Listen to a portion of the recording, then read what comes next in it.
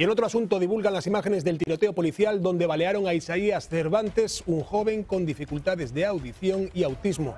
Las autoridades revelaron este video de las cámaras corporales de sus agentes y ahí vemos al joven sentado tranquilamente en el sofá de casa. La policía respondió a la llamada de un familiar que estaba pidiendo que lo llevaran al hospital porque sufría una crisis psiquiátrica y estaba empujando incluso a sus parientes. Ese joven se resistió a la detención y entonces en el forcejeo le dispararon en el torso. Hace cuestión de pocos días, Jorge Miramontes habló con la hermana de la víctima mientras estaban celebrando el veredicto del caso de Floyd ese policía que disparó a mi hermano pague por lo que hizo porque no se merece esto.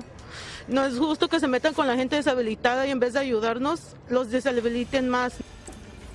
La familia de Isaías dijo que el video prueba lo que ellos siempre han mantenido, que él estaba tranquilo y que no trató de agarrar la pistola como alegaron los agentes para justificar ese disparo. Este fue el 31 de marzo e Isaías aún está hospitalizado y podría quedar paralizado de por vida. Es un caso del que seguiremos pendientes aquí en Al Rojo Vivo.